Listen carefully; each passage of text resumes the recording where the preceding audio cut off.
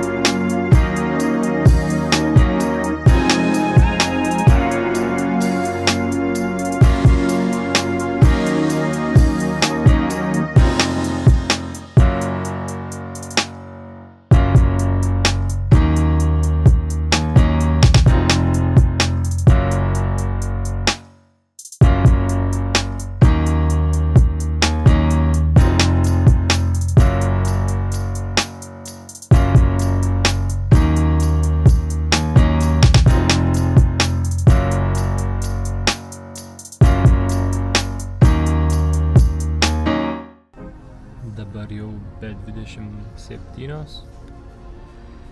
Dar 20 minučių iki oficialaus laiko, kai prasidės BMX parkas, bet manau kokią valandą dar vėluos, nes, nes viskas vėluoja po biški.